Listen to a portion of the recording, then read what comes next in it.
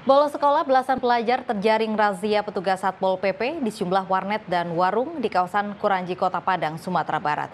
Razia ini digelar setelah seringnya mendapat laporan dari warga yang telah resah dengan ulah para pelajar yang kerap tawuran pada jam sekolah.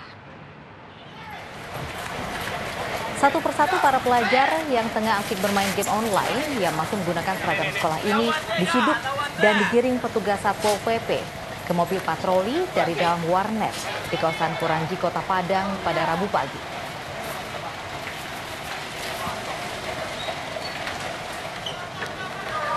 Petugas Satpol PP bahkan menemukan dan mengamankan pelajar yang tengah asik bermain judi do domino.